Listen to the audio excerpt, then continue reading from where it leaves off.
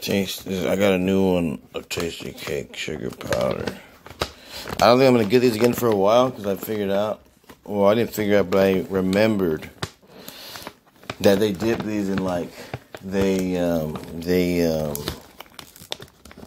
they um, you know how they make them. Like they taste good and everything. The texture, the taste, everything, but they deep fry them. You know, like they they don't make they don't bake them or anything like that. I don't know. Maybe they do. I don't think they bake them. I'm pretty sure they're fried or something. Cause like when I eat them, I don't feel good. That's not it funny. I don't feel good. Yeah, I feel kind of. I don't know.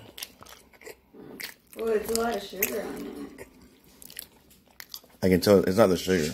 It's something. It's something in the breading, like the donut. Look, Press pause. look, it's something right here.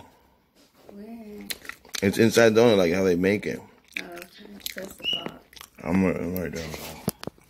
I want to see